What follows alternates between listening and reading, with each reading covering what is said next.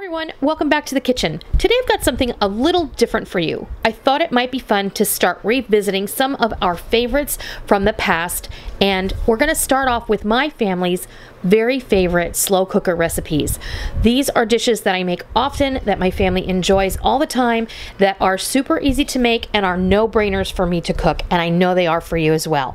Today we're going to share with you once again my chicken and sausage gumbo, my golden mushroom chicken, and my Mississippi pork roast. All in the slow cooker, all super quick, all super easy to throw together. And with summer being upon us, we don't want to heat up our kitchens. So my recommendation to you is if you have a covered porch, a carport, a covered patio or deck, consider putting your slow cooker outside on a table that's nice and clean and cook it out there all day. That way you don't heat up your kitchen. You don't bring that heat of the day into your house. And then all you have to do is cook some sides, mashed potatoes, rice, noodles, whatever goes with your dish, and everybody's going to be happy. The other bonus here is that all these dishes make plenty for leftovers. No matter what size your family, you can adjust the amounts Remember, if you want to see the full versions of these videos, I'll be sure and put links down below in the description box as well as in an iCard on the screen. Just hit that little I in the upper right hand corner of the screen and it will pop out a little thing for you to look at all those videos that you'd like to see. So without further ado, here we go with my family's very favorite slow cooker meals.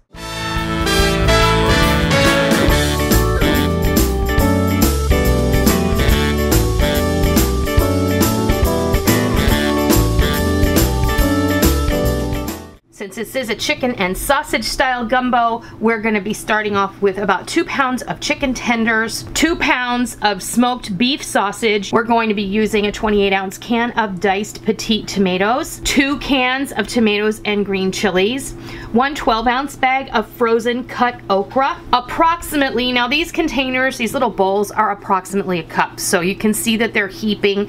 I used a half of a very large sweet onion.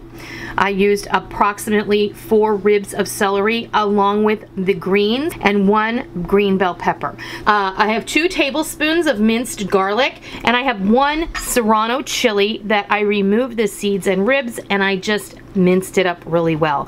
We're gonna season everything here with a teaspoon of salt, a couple of big bay leaves, a half teaspoon of thyme and a teaspoon of dried oregano. We're also going to be using about two cups of uh, chicken stock or broth. Now it's time to dump and go. So I have the vessel of my slow cooker all ready to go. I already put in the 28 ounce can of diced tomatoes in with the tomatoes and green chilies, in with our garlic, our serrano, all of our spices, in with our celery, our green bell pepper, and our onion. We're adding this 12 ounce bag of frozen okra, chicken tenders. I'm gonna go ahead and add this little bit of chicken stock. It is about two cups. So then I'm just gonna give all this a good toss. I'm gonna put the lid on this. I'm gonna forget about it for the rest of the day and I'll bring you back when it's time to eat. There you have it, our chicken and sausage gumbo straight from the slow cooker, all ready to enjoy for our evening meal.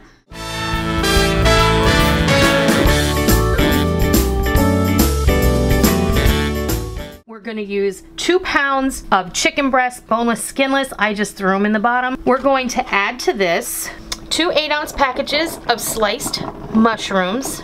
These are creminis, but you can use white button if that's what you prefer. A one pound package of baby cut carrots. And the sauce is going to be comprised of two cans of Campbell's Golden Mushroom Condensed Soup. I'm gonna go ahead and add some chicken stock in here. So what you wanna do is put your two cans of soup in your measuring cup and then add enough liquid to measure approximately four cups. This is gonna give you enough sauce to cook everything beautifully as well as give you a nice amount of gravy. And it's as simple as just pop it in there. When this is ready to serve, we'll bring you back and we'll show you what it looks like. Our golden mushroom chicken is ready to serve. So I hope you give this golden mushroom chicken a try sometime soon and I hope you love it.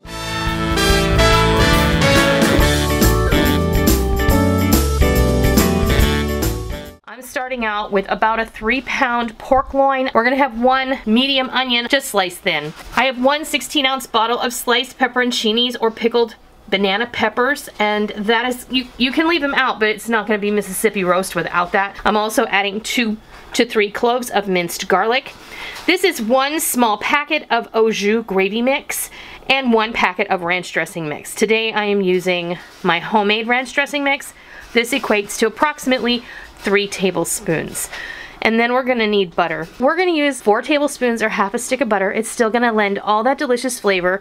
And I'm gonna add a cup of water because my meat is frozen. It's gonna help the steaming process and get everything cooking super fast. All right, I have the pork roast that I took out of the bag, plop it right in the vessel, and now we're just gonna start building everything.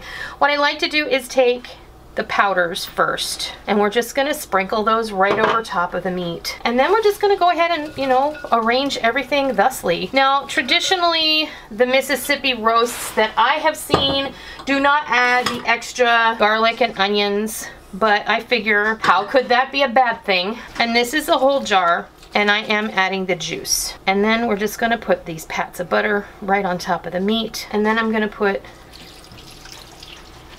this cup of water. Today I'm gonna cook this between six and eight hours. I'm pretty sure it's gonna be closer to eight. Our Mississippi pork roast cooked all day, about seven hours. We're gonna serve this with some mashed potatoes and some glazed carrots, and that's what we're gonna call dinner.